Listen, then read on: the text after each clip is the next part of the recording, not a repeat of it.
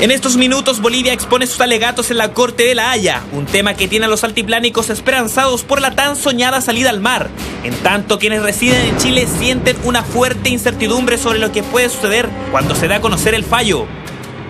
Estamos como asustados ahora cómo nos vayan a tratar después de todo lo que pase allá. La verdad puede pasar cualquier cosa, pueden, puede, a lo mejor puede poner una ley de que pueden que todos los bolivianos salgan de Chile y es un tema medio delicado. Conocimos a Esperanza, ella vive hace 12 años en Chile, trabaja en este pequeño local de comida boliviana ubicado en Recoleta. Ella nos cuenta que en el colegio siempre le inculcaron que Bolivia tenía mar. Me enseñaron que nos robaron el mar cuando Bolivia estaba de fiesta en carnavales el 14 de febrero o era el 24 de febrero y había poquitos guardias en la frontera cuidando y ahí aprovecharon los chilenos a, pelear, a hacer guerra y, y quitarnos el mar, Antofagasta, Tocotilla. Lo mismo vivió James, boliviano que reside en Chile hace cinco años. Él también nos relata su incertidumbre por el resultado de la Haya. Y la verdad, todas las cosas, Antofagasta, toda la cuestión ha sido nuestro y por problemas, eh, por las guerras que pasó, perdimos lamentablemente. Me, gustaría que igual, que tengamos muerte. Incertidumbre que también vive Evo Morales, quien siempre ha sido categórico con obtener un buen resultado muchas veces con opiniones bastante polémicas. Ustedes no son prensa chilena, son agentes de inteligencia chilena. ¿Pero qué espera el día lunes?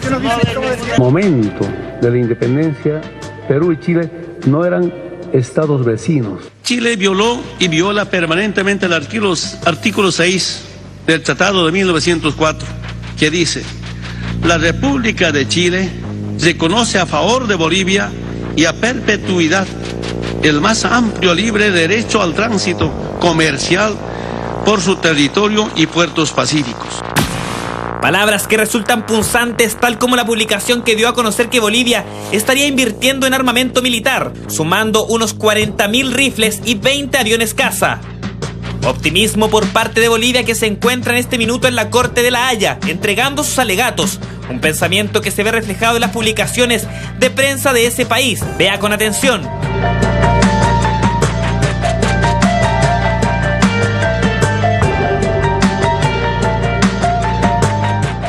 Altiplánicos no quedan fuera del aumento de extranjeros en nuestro país. Y es que el Rincón Boliviano es el lugar donde cada domingo se reúnen quienes llegaron desde la nación del norte hacia Chile. Ellos durante estos días viven bajo la incertidumbre de lo que pueda pasar. Mi profesor de sociales no quería que venga acá porque me decía que soy una traicionera, pero la necesidad. En tanto, el ambiente que se vive en Bolivia es de expectación y esperanza de por fin tener una salida al mar.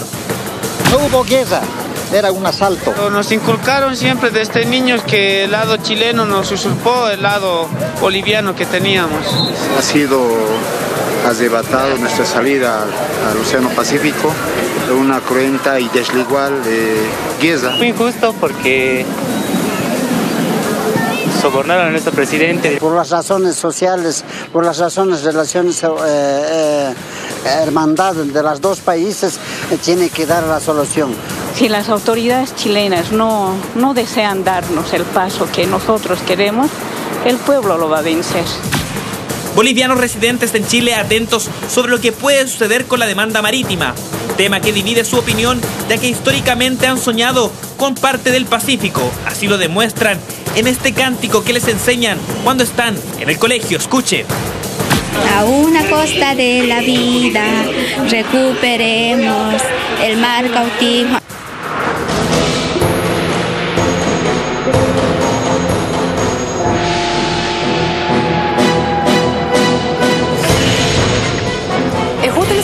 Conocer lo que están pasando nuestros hermanos bolivianos que residen en nuestro país. La verdad que la cantidad de inmigrantes peruanos y bolivianos es muchísima en Chile, que vienen a buscar una calidad de vida mejor. Y la pregunta es, ¿cómo les ha cambiado la vida a ellos a partir de esta demanda en contra de nuestro país en La Haya? hay chilenos que los están mirando de peor manera, don Carlos. ¿Cómo ha cambiado la vida para usted o siguen más o menos en una paz aparente? Hola, buenos días. Buen día. Buenos días, don Carlos. gusto, gracias por invitarme. En realidad no nos ha cambiado absolutamente nada. Nosotros vivimos aquí en Chile, eh, no creemos de que exista mayor enemistad por el conflicto actual que está ocurriendo. Sin embargo, yo tengo una visión particular al tema. ¿Cuál es su visión? La verdad es de que eh, a nuestro país no le favorece que tengamos una salida soberana porque al tener soberanía nosotros vamos a perder en este momento las facilidades que tenemos de libre tránsito y los puertos que, con los cuales tenemos de libre comercialización. Es decir, yo creo de que es mejor, porque siempre nos ha hablado en el país de que nosotros eh, tenemos subdesarrollo porque no tenemos Sí, una claro. salida soberana. Claro. Y yo creo que podríamos mejorar nuestras condiciones al tener un mejor intercambio comercial con Chile, mejorar nuestras relaciones diplomáticas, mejorar nuestro intercambio cultural y eso a lo mejor es mucho más favorable en el país porque en el momento que si se supone que podemos tener una salida soberana, no podemos ser competitivos como para poder exportar nuestras materias primas como lo estamos haciendo en este momento por los puertos chilenos. Oiga, don Carlos, veíamos en la nota a algunos de sus compatriotas residentes en Chile y decían que tenían un poco de miedo, algún tipo de incertidumbre. Si Bolivia salía adelante y ganaba eh, de alguna manera este litigio internacional en la. Corte de la Haya, podrían haber represalias. Temen que, por ejemplo, los bolivianos no puedan entrar a Chile y cosas así. ¿Usted adhiere a esos sentimientos? ¿Le parece que son razonables? No, para nada. En estos momentos, como estamos viendo en el mundo, ya no existen este tipo de sentimientos. Prueba clara que en el Perú no ha ocurrido absolutamente nada. Eh, no han expulsado chilenos del Perú por el hecho de que haya salido favorable el fallo hacia el Perú en el litigio pasado, ¿no? Y en ese sentido, don Carlos, nosotros lo hemos conversado incluso con Jaime, lo conversábamos estos días, que sentíamos que había una cosa más de quienes están gobernando eh, nuestros países más que de pueblos. Se ve que nosotros nos llevamos entre todos muy bien y no hay esa rencilla como se quiere hacer eh, creer.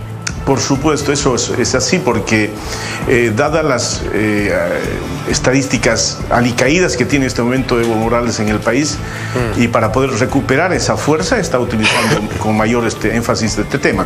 Si bien ha sido utilizado casi por todos los este, gobernantes, pero eh, Evo Morales se ha puesto un énfasis bastante grande porque en este momento hay unas elecciones este, recién que se están cumpliendo, elecciones departamentales o regionales, en las cuales él ha perdido siete de los diez este, eh, regiones más importantes en el país. ¿no? Don Carlos, de todas formas, en Bolivia da la sensación, por lo que hemos reporteado, por lo que hemos visto en distintos informes, que la gente quiere y demanda y exige y acompaña esta aspiración boliviana de salir soberanamente al mar. ¿Su familia en Bolivia piensa igual que usted? ¿Piensa que es una estrategia errada o está de acuerdo con la gran mayoría de los bolivianos? No, yo creo que en Bolivia, eh, de acuerdo en, en la región donde yo vivo, creemos mayor- mejor en un intercambio económico para mejorar nuestro desarrollo en el país. Es decir, una salida soberana nos va a permitir simplemente irnos a bañar. Don Más Carlos. eso no nos, no nos va a favorecer. Don Carlos, que veíamos también en la nota la declaración de, de una boliviana donde decía de que a ella en el colegio siempre le habían explicado de que los chilenos les habíamos robado el, el fondo, la- la- el mar, la salida al mar.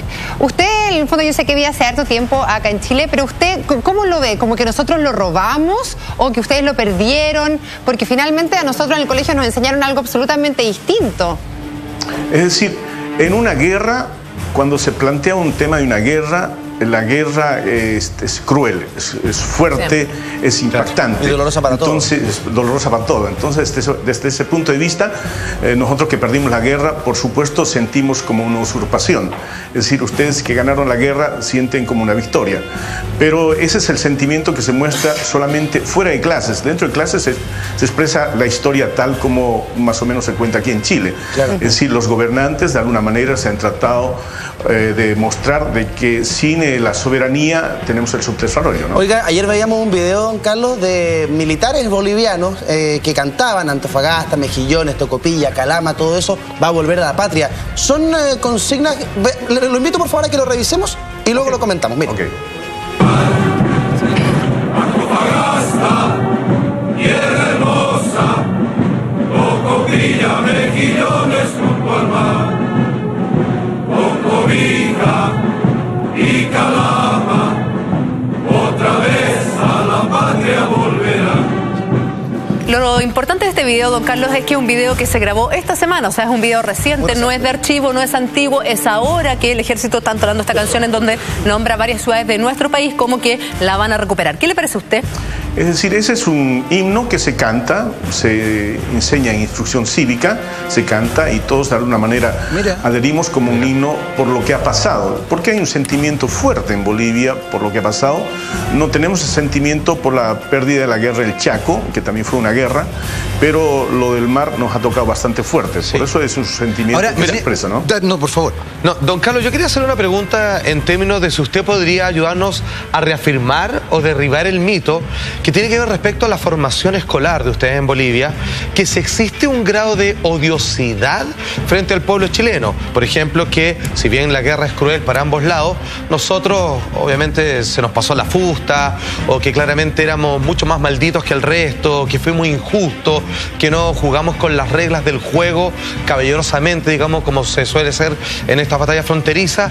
¿Cuál es la mirada en términos de formación escolar con respecto a Chile de parte de los bolivianos? No existe una odiosidad.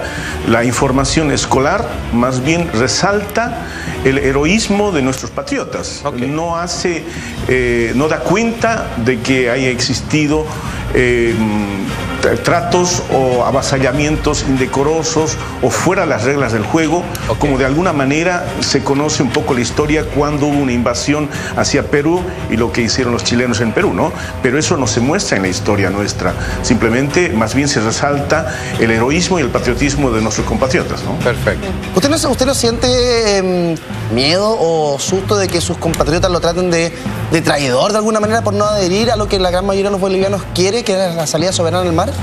No, yo creo que no, porque cada cual tiene de alguna manera su posición, su forma de pensar. No estoy yendo en contra del país, simplemente estoy expresando una realidad actual que, que es lo que beneficiaría al país. El país se se ve más beneficiado con que tengamos un mejor intercambio económico, un mejor intercambio cultural, que pensar en un enclave o, o, este, mm, lograr tener un territorio. mirar. Claro, una mirada distinta, ¿no? Carlos, yo fíjese, fíjese que comparto harto lo que usted ha planteado, sobre todo porque a, a- a lo largo de la historia es muy típico que cuando hay conflictos internos en un país tiren el tejo para las políticas internacionales. Sin embargo, yo creo que aquí hay algo fundamental. Usted vive en Chile, está casado con chilena, tiene una visión que en lo personal comparto 100%, por lo que le decía hace, hace un rato, pero ¿cómo cree usted que es el gran panorama en Bolivia? La mayoría de la gente piensa como usted, la gente, no los políticos, ni tampoco los medios de comunicación. La gente piensa como usted o adhiere finalmente a este mandato, a este- a alegato en La Haya. Obviamente en este momento la gran mayoría, eso hay que reconocer, está adhiriendo a las posiciones del presidente Evo Morales. ¿ah? Pero eh, no existe odiosidad, no existe en los pueblos normales, la gente y corriente, no existe esa parte eh, que se está pintando en este instante. Claro, como que, eh, que hay una odiosidad entre los dos Claro, pueblos. claro. Y en ese sentido le quiero preguntar, ¿cómo siente que lo van a tomar, por ejemplo, si finalmente el fallo que entrega la Haya en septiembre es en contra de Bolivia y dicen que finalmente no tienen la jurisprudencia para involucrarse en este tema? ¿Cómo cree que lo va a tomar el pueblo boliviano? El pueblo Si es que llega a ese escenario. Sí, en ese momento seguramente el presidente hará un discurso, va a decir, simplemente es una batalla perdida y no la guerra, vamos a seguir adelante y de esa Pero va a continuar. Sí, sí, yo creo, yo creo que va a continuar. Carlos, el presidente